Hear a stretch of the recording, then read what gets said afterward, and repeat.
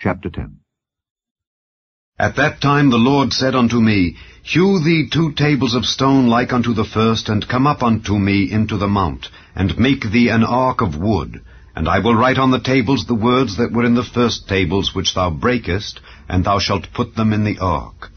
And I made an ark of shittim wood, and hewed two tables of stone like unto the first, and went up into the mount, having the two tables in mine hand. And he wrote on the tables, according to the first writing, the Ten Commandments which the Lord spake unto you in the mount out of the midst of the fire in the day of the assembly. And the Lord gave them unto me. And I turned myself and came down from the mount, and put the tables in the ark which I had made. And there they be, as the Lord commanded me.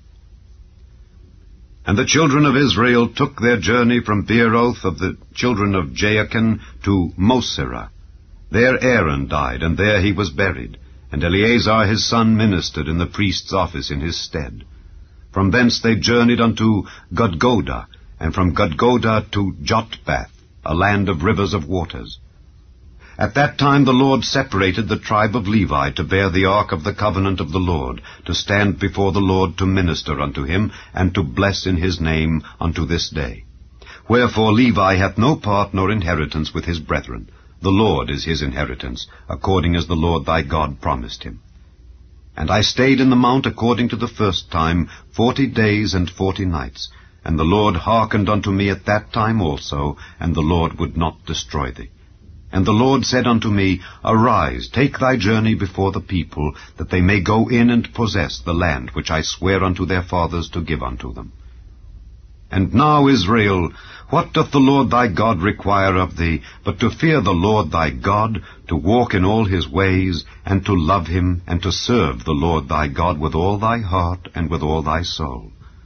To keep the commandments of the Lord and his statutes, which I command thee this day for thy good. Behold, the heaven and the heaven of heavens is the Lord's thy God, the earth also with all that therein is. Only the Lord had a delight in thy fathers to love them, and he chose their seed after them, even you above all people, as it is this day.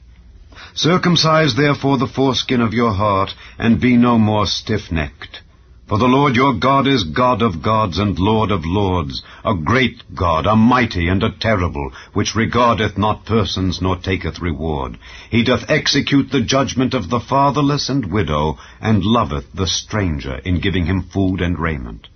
Love ye therefore the stranger, for ye were strangers in the land of Egypt.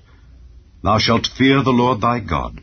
Him shalt thou serve, and to him shalt thou cleave, and swear by his name. He is thy praise, and he is thy God, that hath done for thee these great and terrible things which thine eyes have seen. Thy fathers went down into Egypt with threescore and ten persons, and now the Lord thy God hath made thee as the stars of heaven for multitude.